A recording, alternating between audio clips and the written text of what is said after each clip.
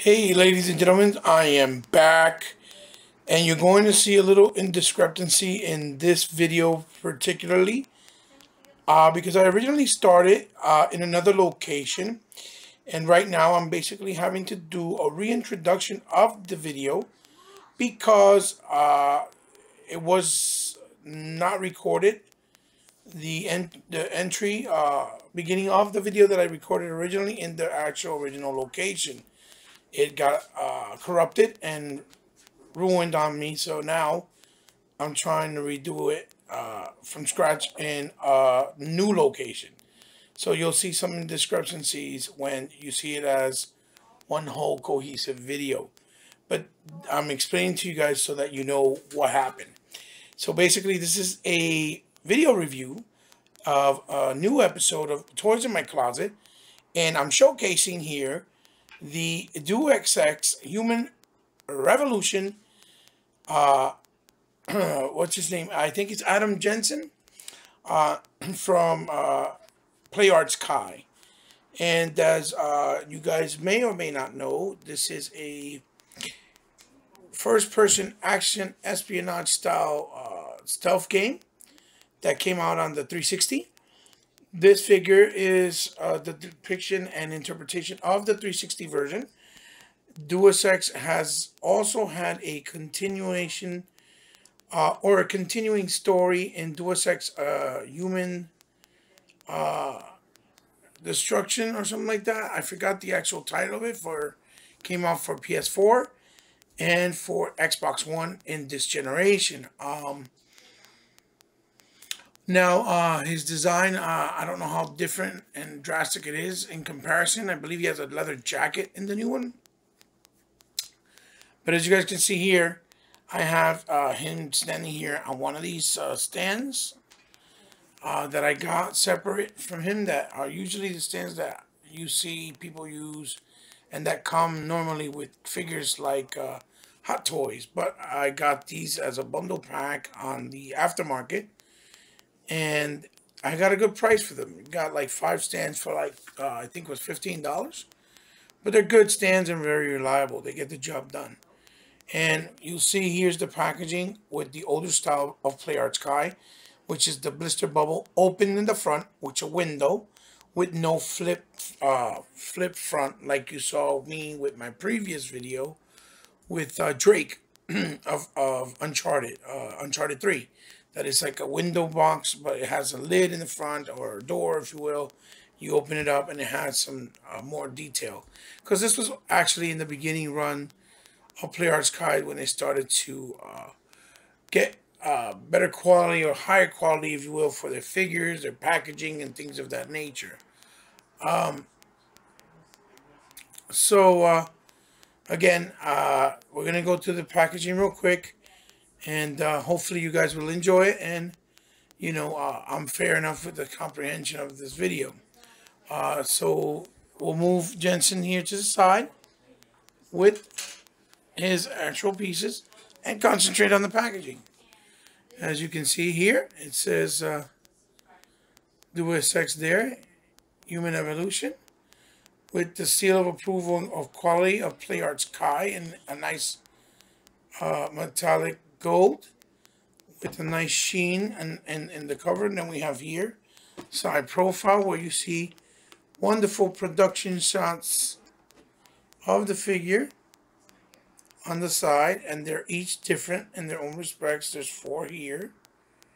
He looks like uh, Neo from the Matrix here. And I can't help but to resist thinking that his design and even his look of his face is very inspired by Neo from Matri from the Matrix, which is a good thing. It's not a bad thing. It looks awesome. And then here, as you guys notice, is uh, two other figures that were from the set and the line, which I never picked up, uh, which uh, were part of this series, which was uh, Yelena Fedor, uh, Fedorova I think it is, Fedorova, and then Lawrence Barrett. So I'm not sure how uh, good and clear this is coming in, but these are some nice production shots here too uh, of the figure, uh, as you see here, uh, of him. And then we'll go to the side. And you have some more shots here, as you see. Very nice of the actual figure. Back to the front, the bottom, Square Enix with the seal label of approval, knowing and authenticating that it's real. And then it's an open blister in the top that says Square Enix products of Black Label Collectors. As you see here, it says Adam Jensen. And then in the back, obviously Square Enix. And a synopsis in the Japanese uh, uh, wording and writing, which I don't know how to read, obviously, and translate. But yeah, that's pretty much it as far as the packaging goes. Very nice packaging, very familiar in the traditional sense. Uh, and uh, again, we'll move in Jensen. Here's the figure. Move it back a little. And uh, just, I hope you continue with the uh, rest of the video. Where I go in more details to uh, talk about uh, Jensen here. Uh, stay tuned, and I hope you enjoy, guys. Sorry for the little subtle changes and, differences. I hope you guys understand, and uh, I hope you give me, uh, show me love, regardless. Thank you. Sorry for that, people. The, the phone came right out of the trolley thingy and fell right out. Forgive me. Um, so this is, like I said, the, the traditional older box and packaging from Play Arts that uh, obviously uh, were how they started. So uh, we're going to go into the figure right now. Here we go. Here is Adam Jensen and uh, in his whole glorified glory. What we'll do is we'll start off with the two extra pieces that he came with, which are cybernetic hands uh, that came with it. I don't know uh, the reason why the reason why they came with running out or wearing out and not ever sticking right ever again. Um, uh, so again, uh, this is uh, another one. This is the right and the left. And those are the two extra pieces came with. Now, Jensen himself, as you guys are going to see here, uh, looks incredible. Um, I actually bought this stand here. These are stands they use traditionally for figures like uh, Hot Toys. Um, you know, like the Hot Toys figure. But I figured uh, to use them for them because they're pretty nice looking and sleek. And it's black and it matches him. And it's very hard to find a nice stand that matches that it's in black. Uh, uh, you know, uh, for for the figure itself. I'm trying to actually see if I can zoom out. There we go.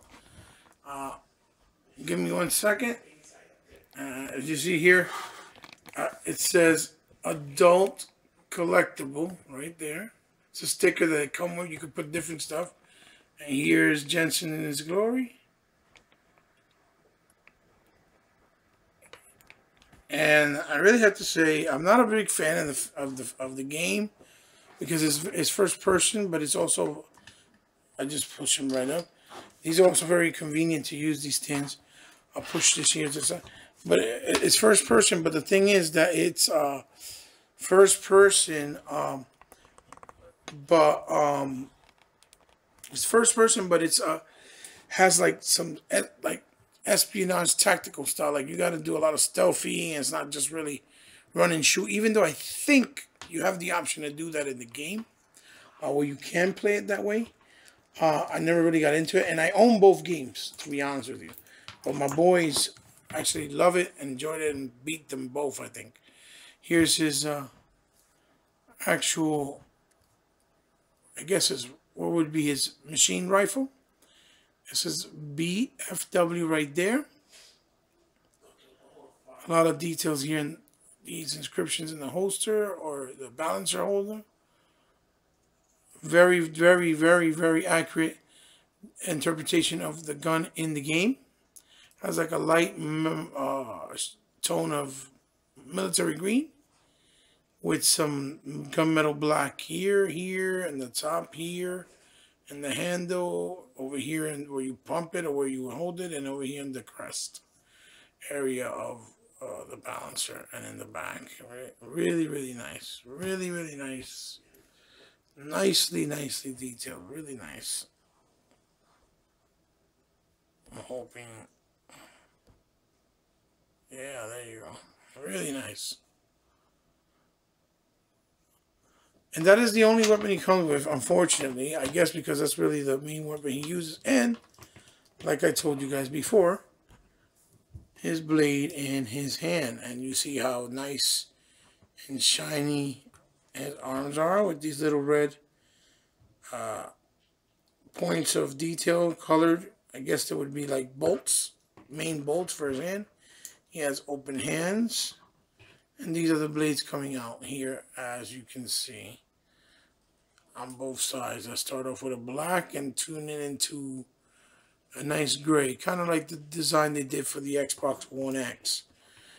We have these nice straps of, of his uh, bullets there for, I mean, of gun, gun strap, uh, I mean, uh, magazines. His military green metal vest, his bodysuit, and then even has the detail of the bolts in his suit, as you can see. Very nicely detailed. And then he has nice highlights here of, of kind of a yellowish, mustardish color. Strap on the side. This was probably where he had some blades. Straps in the back and highlights in the buttocks area nice metal uh, endoskeleton spinal cord looking thing in the back here. The figure, even though it's plastic, if you look at it up close, and maybe it, I hope it translates well on the camera, almost looks like real, like real metal. Like if the figure was made out of metal. Detail in the back, of, a sculpting of his hair, as you can see, is nice and shiny. This is a blotch of like glue or something that I guess came like that and the figure didn't notice till now. The collar. And his face is phenomenal. It's an amazing, amazing uh, likeness of Jensen in the game. With his, you know, uh, engra in, in, engraved uh, cybernetic glasses that let him see through walls and stuff like that. Uh, but if you notice, if you notice, Jesus Christ, this is getting me really upset right now. If you notice these, uh, oh my God. Hold on, people. He has that metal shrapnel piece there stuck to his head as a detail. If you notice these uh, glasses, cybernetic glasses, are drilled and surgically implanted into his face. Uh, but they come in and out and and and morph like they were part of his regular face or sculpt or rather like uh, the inside of his head like it come right out of his eyes or his skull or, or his uh, skull and his face uh, he has nice uh, detail going down these are his uh, I want to say shoes, boots. I think they're probably boots, but they're supposed to be hiding here with the belt, with you know, with the uh, bells of the uh, pants, obviously covering it. Really nice, uh, with a nice tone black, as you can see. Um, and he's uh, he has a nice range of articulation. You know, starting from his head, obviously he goes left and right, up up, down, up. Not so much as up, but more down. He has a torso cut there. I believe he has a, yeah, a waist cut as well. Obviously the butterfly to put him in better dynamic poses or more acrobatic uh, martial arts type poses because he does martial arts uh, the shoulder, you know, full rotation. You have full rotation on the shoulder. You have the upper bicep.